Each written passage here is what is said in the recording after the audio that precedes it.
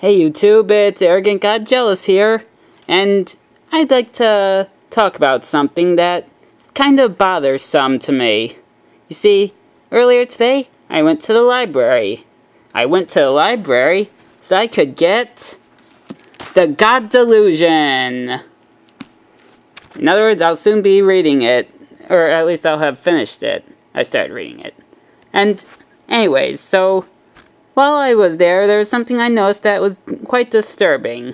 You see, when I went to uh, find the uh, God Delusion, it was obviously under nonfiction.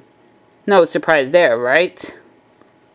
But here's what really bothered me, was that, uh, I also found under the nonfiction section, yep, the Bible.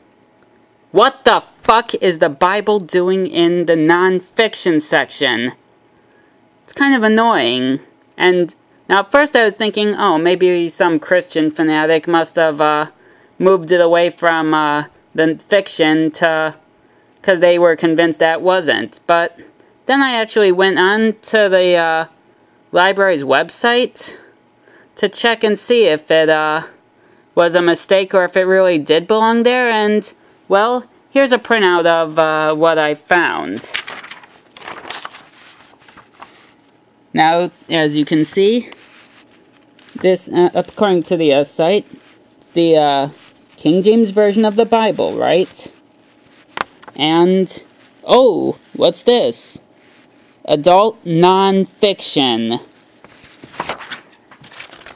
What is the Bible doing under the non-fiction section? The Bible is fiction. I don't know about you, but I find that kind of annoying that they would put the Bible, and among other things, they also had other religious books like the Torah, the Quran, and all the other religious stories and various versions of the Bible.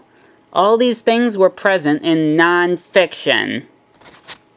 Now, I can understand if they maybe placed it under, uh, their own section called religion or maybe in a maybe fiction, maybe not fiction section, but putting it under non-fiction, come on, seriously. That book is fiction. Get over it.